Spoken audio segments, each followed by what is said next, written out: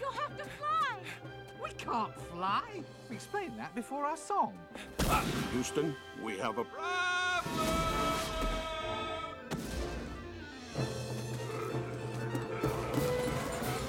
Off. Oh.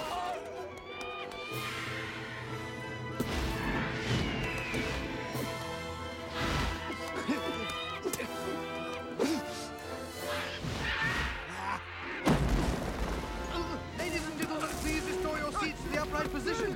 Assume the crash position and hope you don't smell your socks. Tray tables up. And put away your sandwiches. Turbulence! Hold on, gang. I think we're going in. Help! Mayday! Mayday! Mayday!